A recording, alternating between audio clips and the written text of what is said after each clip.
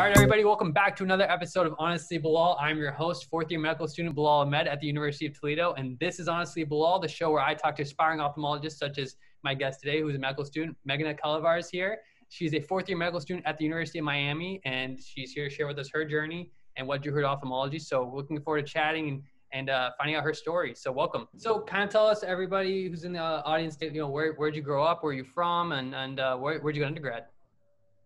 Yeah, for sure. So I was born and raised in Portland, Oregon, so cross country. Wow. Um, for undergrad, I went to Baltimore um, at Hopkins.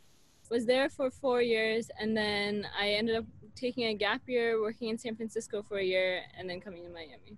So you just were kind of indifferent about which coast to pick. So you've been West Coast, East Coast, West Coast, East Coast for a little bit now. yeah, exactly. Wanted to see as many cities as I could. So I'm really jealous. As somebody who's from Kentucky and, and been in Ohio, I have just been stuck in the center. So uh, I, I think it's sweet that you're always somewhere with the coast by nearby.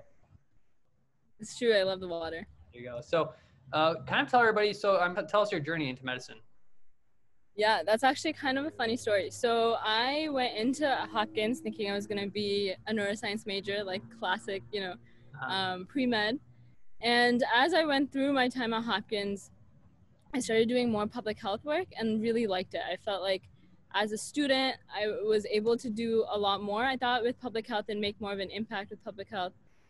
So I actually ended up graduating in three years um, from like with a public health degree at Hopkins, and then for the last year, did my master's at the Bloomberg School of Public Health, still at Hopkins. And so I like loved it. I loved just everything about like it just fit, you know, like right. Um, and uh, so yeah, so I'd switched majors. Um, I by that time, by the time I'd switched majors, I'd luckily done most of my pre med classes. Okay. Um, so yeah, I was public health, and then weirdly, I ended up um, taking on this like consulting internship mm-hmm. where I was working for this consulting company in Canada. It was like for a few months. And I ended up going to, and so we kind of worked longitudinally on this project where we would um, work on developing this palliative care program for this government hospital in India. Okay. And so it was a lot of remote work for that. And then I ended up being able to actually go to India on a scholarship to like give the recommendations for this um, for the state health commissioner. Okay. And crazy, so I don't know, um, I don't know where you're from originally, but well, uh, sorry, go ahead. My parents are from Pakistan, so I know what it's like to be in that okay. part of the world. Yeah, yeah. Yeah, yeah. So like, uh, so this government hospital like had very low resources, and though I thought I was going there to like present this proposal to the state health commissioner, like a lot of it was really working like in the hospital, like okay. with the actual palliative care patients, and just working with them i think really made me realize like even though like making this like broad level impact was awesome like i really like really missed like the talking to patients and like the one-on-one impact kind of thing sure. and so like that's kind of what brought me back to medicine um, so during that year like while i was ap- applying i did a healthcare consulting internship in san francisco i mean like a job uh-huh. in san francisco um, where i was basically working um, our clients would be hospitals. So we'd be like trying to basically figure out like insurance contracts to see like how we can save the hospitals the most money. And then I came to medical school and I haven't looked back since. Yeah, no kidding. But you definitely did a lot of other stuff, which I think is really cool to kind of diversify yourself. And it sounds like you really looked at things from like a, like a, from the public level. So from like a, you know, from the hospital system level. And I think that I, I wish I had that kind of experience. I think it's really cool that you've had that because I think that's really important as we go forward to kind of get that perspective from how things operate on a day to day from you know these hospital systems and how societies you know operate in different parts of the world with you know different health disparities and stuff. And and it's just it's really cool. So I think that's a really unique experience to have, and it looks like you definitely you know you you grew on your own first before you came into medicine, and I think that's uh I, I'm always jealous of people who who took and who took time to do that because I think it's actually a really valuable experience. Yeah and i think just in general even i think the business side of medicine is something that we get so little exposure to in general you know like how reimbursement works and how different like icd-10 codes are you know decided upon so it, it was really awesome and i think that uh, through meded we should definitely you know try to put more focus into that so moving from there you know so you, you find ophthalmology you're interested in ophthalmology you're you're you're, you're pursuing ophthalmology for uh, residency this fall so talk to us about how you found uh, the specialty itself and and what drew you to it? Tell us about that experience. Um, so that has been a process for sure. So I came into med school, like really loved it, really loved just like going through it. And going into the third year, I kind of kept a really open mind. Um, when I first came into med school, I actually did work on an ophthalmology project, but that was more from a public health point of view. So really looking to see, I was really excited about this idea of like universal screening kind of from my public health background. So I started looking into um, how AI can be used for diabetic retinopathy screening because like the IDx-DR was had just come out like my freshman year, which oh, okay. is um, it's a AI, it was like the first AI screening tool in healthcare to be approved. Right.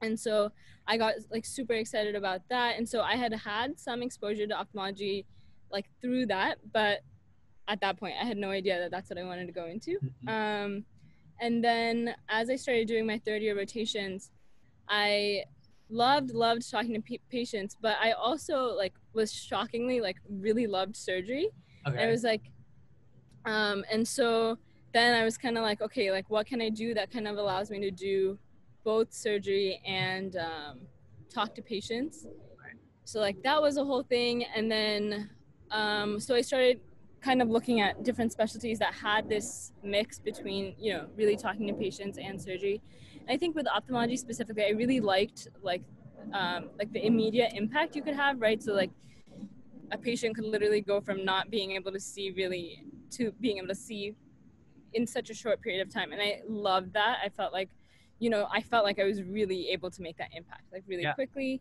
um, and that is so like that was kind of going on, and then actually with Dr. Sridhar, I was in the OR with him, and of course he's such a great mentor, like such a great teacher and I just remember the first time I like looked inside the eye, you know, and it sounds so cheesy now to think about it, but it really felt like there was this whole world, like, you know, behind there. And it just, like, the idea of being able to, like, explore that, you know, even though, like, everyone sees the eye, like, the idea that there's this whole other world behind it was, like, really, really exciting to me. And so, kind of just happened.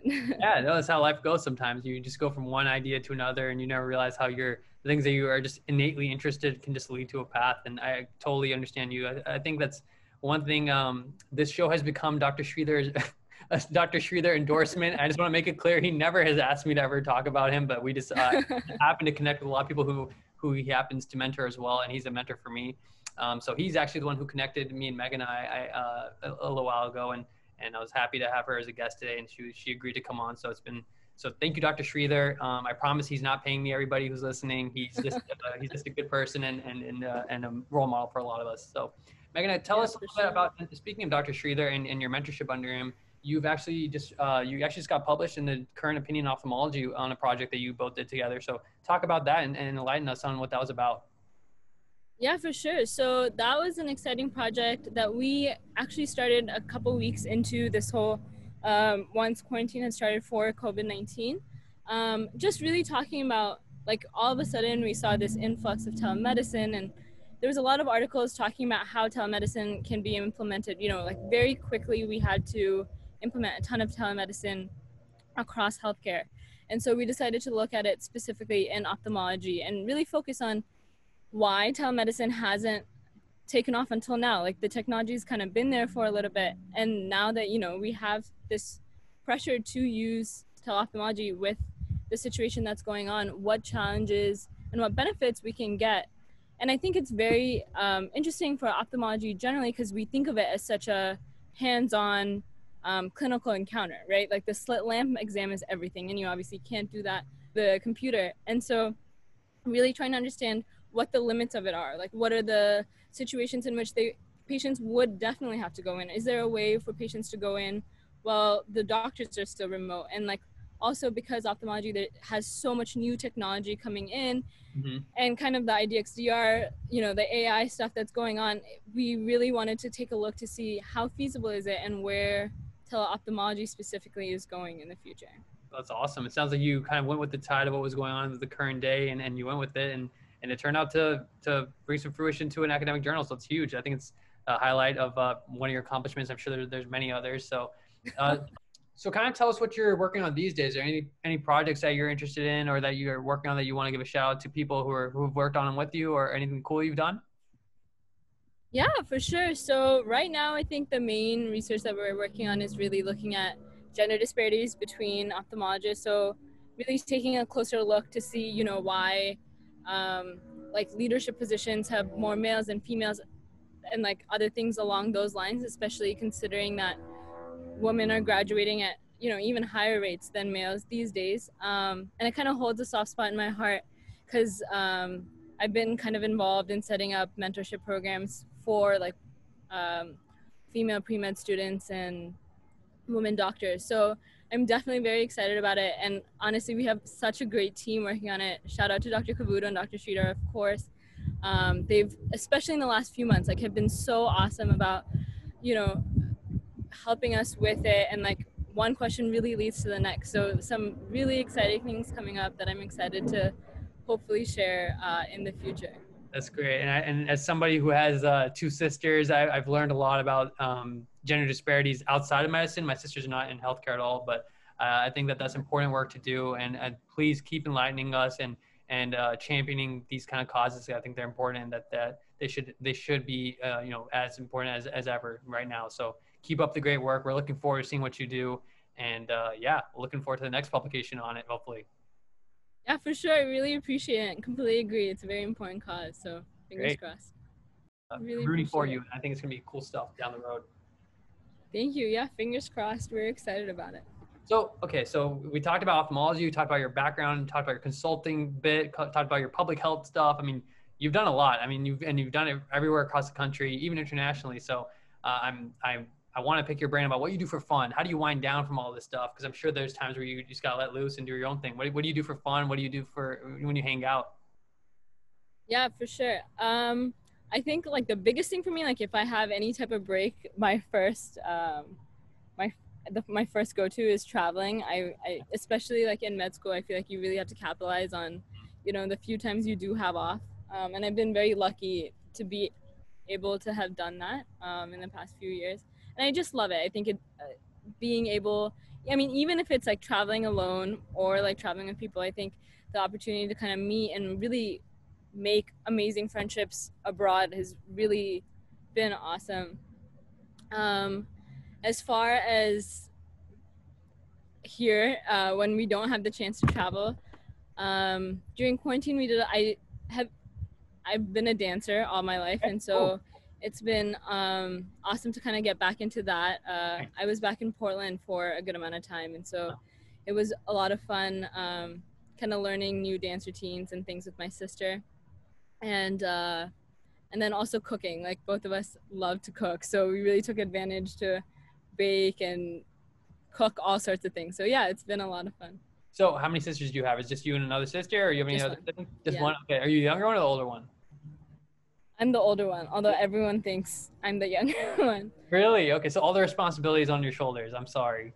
Not she's honestly like my twin. Like we're very okay. close. So I, I, feel like at our house, it's like my older sister was like the test child. So like everything she did was like the, like everything she, she, broke down barriers for us, and like we had to do, we got to do so much more after her, um, just because she was like the test child. So that's pretty interesting. So yeah, actually, yeah. I want to ask you, like, where was the last place you traveled? Like, I mean, you, you, you, I know these days it's obviously hard, but where was the last place you went to that you really enjoyed, or yeah, what was the most recent one? The most recent one was over winter break, so like just before um, the whole COVID thing really blew up. We went to Egypt, Ooh, Israel, wow. and Jordan. Wow. Yeah, so like that was an awesome trip. That was over winter break, so it was like two and a half weeks. Very cool. Um, yeah, so like that was awesome. So so much good food. Um, uh-huh.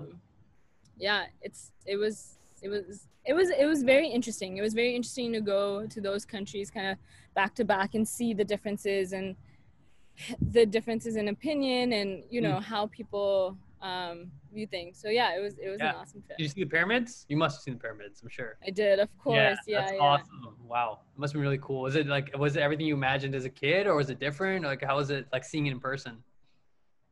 That's that's an interesting question. I mean, it definitely the pyramids were awesome. I mean, they're just even better than they look in pictures. Of course, they, huh. they're huge.